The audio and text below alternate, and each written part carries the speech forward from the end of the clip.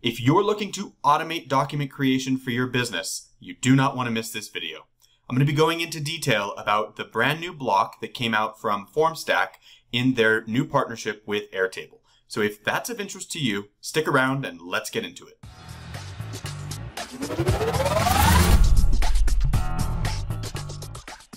Hey, my name is Gareth Pronovost. I'm the owner at Gap Consulting, where we help you to organize and automate your business and life. If that's of interest to you and you want to learn more about how we do that, don't miss our free Airtable crash course. I will include a link below in the description of this video, and uh, you can check that out and get up to speed quickly. But without further ado, let's jump into the meat of this video. This is all about creating automated documents, automated documents from an Airtable database. So specifically, we're looking at this new partnership that has evolved between FormStack, a document creation software, and Airtable. And they have built an awesome block for us. So looking at my screen here, you're going to see two things. One, I have a really basic uh, database set up between contacts and donations, which I will explain. And then here on the right-hand side of my screen, I have set up this block, and I will go into detail about what that does and, and why it's so powerful. So first, let's talk about our data structure. I'm imagining here for this example that we run some sort of nonprofit donation uh, type of business, something similar maybe to Goodwill or Salvation Army, where we accept donations. And of course, we're going to need to give some sort of uh, receipt. Maybe that happens at the end of the day, maybe it happens at the end of the week, but we're collecting donations. We want to store that information in our database, and we want to make sure that people get receipts. So before we can send these receipts, of course, we need to create these receipts. So what I'm tracking here is in one table, of course, we have contacts. It's our first name, last name, email, pretty standard stuff for contact information. We also uh, may include a company. We may have a street address, and I stress the word may. That's going to come into play here. And then ultimately, you know, we have a, a link of this contact to donations. Over here on the donations table, we're tracking the number of the donation. So this is something that's sequential, right? It could just kind of click up. Going to link to contacts. Uh, so the reciprocal of that relationship, right? When a contact links to a receipt or a donation, so too will a donation be connected to the contact. We're going to record the date of the donation, a short description, the amount of the donation, and uh, then we're going to capture that receipt. And you'll see here that I already have started capturing a lot of receipts. And these were, uh, should be no surprise, created uh, automatically inside of FormStack using the template that I downloaded. Before I get much more into the block though, let's take a quick look at FormStack and what that looks like on the inside. Now this is a separate software that we're going to need for our document creation. Inside of FormStack, when you log in, by the way, I'm on a free account right now, but uh, ideally you would be on some sort of paid plan. I only mention that I'm on a free account because the documents that I create are going to have a watermark of sample or test on them because of that. But you'd start by setting up some documents here. You can, as you see, have a number of documents. You can add a new document here. And in here, I'm going to be using the donation receipt. Now, I started with this donation receipt from a FormStack template. So they have a lot of templates available to you. You can go ahead and manage the file and if you want to download the current file that's on uh, record for this, you can do that here. You can upload a new file here when you're done making changes.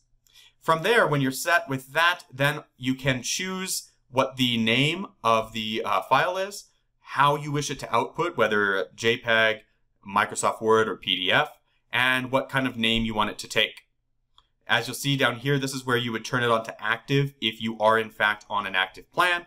Of course, mine is just, as I mentioned, in test mode. Now from there, once we have all of our settings all set up, we can then effectively create a document from, uh, you know, zapping or pushing information uh, into it using automation. So before I get any further though, one thing to note is that inside of your document, you will need what we call merge tags. So if I were to download this document and open it up, you'll see that there is some funny looking language in here. Now there are two things that FormStack's documents do that are really, really incredible. Now the first one of those is that they've built a little bit of logic, I say a little bit, but it's actually quite a bit, of logic into the uh, document itself. And so most document, you know, merge softwares on the web do not allow for this layer of logic where you can say, if I have this piece of data, then I want it to fill out here. If I don't have it, then I don't want it. This is the type of problem that, uh, you know, really is made pretty terrible through a lot of merge documents in the cloud because your formatting gets really wonky when certain data doesn't come in. And in this case, you'll notice that if I were to expand or just open up this uh, Word document that I've downloaded, that I'm tracking these different fields inside of this document with a squiggly bracket and a dollar sign and then the name of the field. So I'm tracking the date, the donation number, etc. But when we get down to company, you'll notice that there's a little bit of logic or code here. Basically what this says is if company, the field company is blank, uh, then, or is, I'm sorry, if it's not blank, then we're going to output the company name here. Uh, and then we're going to end that little statement. So essentially saying if company exists, then bring the company in. If it doesn't exist, we're going to skip it, right? Same thing for uh, address here. So the idea being that if address exists, then bring it in here. If it doesn't, then we'll skip this. If city exists, we'll bring it in here. If it doesn't, we won't. And this is really important because a lot of times when you're merging documents in the cloud, you're not going to have all of your data points. You can, in a perfect world, you would hope that you do, but you don't always have all of them. So this is the a huge selling point for FormStack and why I think it's absolutely worth giving a shot here because this logic makes for some really clean documentation. So let's shut this down then and take a look at what the block itself does. And I want to talk about the second thing that the block is makes really powerful, but unfortunately I don't have the capability to do it from my free account, but I'll definitely uh, you know pay some homage to it and let you know what it is. But essentially what we do is inside of our donations, we are able to select any record, whether we you know click the record or just select a cell within the record. And because I have set up and integrated my FormStack with my Airtable, I now see a list of all the different documents that I have inside of my FormStack. I can go ahead and select donation receipt. That's the document that we're working with here. And when I select it, you'll notice that I have the opportunity to upload the merged document directly to my database. I can trigger that here and I select where I want it to go here. In this case, I want it to save to this attachment file called donation receipt. I'm going to click create document and give it just a moment and what is happening in the background is FormStack is taking that template that we have, it's bringing in the associated data from Airtable, and it's pushing it into that template. And if I were to now click the document that just appeared here, when I expand this, you will see that it is now filled out with the information that's specific to this record. So this particular record was a donation for blankets in the amount of $60. The donation number was 5012. And you'll notice here that we have a name and an email address, but nothing more. There is no address for this particular person, uh, Elsie O'Gallagher. So if I were to flip out here and we were to expand the information on Elsie, you'll notice that there is no company name, no street address, no city. And the nice thing about this, as I said before, is that when this document is merged, it doesn't have a lot of blank or dead space inside of the document because nothing was brought in and it knows not to put anything there.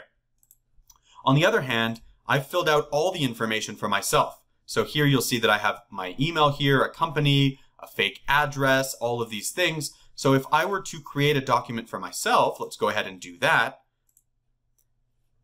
And when this comes up, of course, we're going to see that that was expanded and had all of the proper data inside. Let's get it, go ahead and take a look here. And there are all the different data points associated with this uh, particular user. Okay. The other really cool thing, and I mentioned there were two, the second one that I really like about this block is that you can select multiple documents to be created at once. So if I were not on a free plan and I had a paid plan, I could in fact select all of the donations that we received in a day or a week and create them all at once. And when I go ahead and select this, it's going to create 15 documents in this example. Of course, as I said, I'm not on that paid plan, so you don't get to see that functionality, but it is possible to create a large number of documents all at once with just a couple of clicks. As always, I hope you found that to be super helpful. If you did and you'd like to learn more, we have a lot of resources that we've put together on our site, so swing on by and see how we can help. We have a blog that includes free content every week. We also built an Airtable free crash course that'll get you up to speed in under two weeks. And if you're looking for something more advanced, you can book some time to have a discussion with me. I will hop on a Zoom call with you and we can talk about what your needs are and how our company might be able to help. So if that's of interest, swing on by. Look forward to connecting with you soon.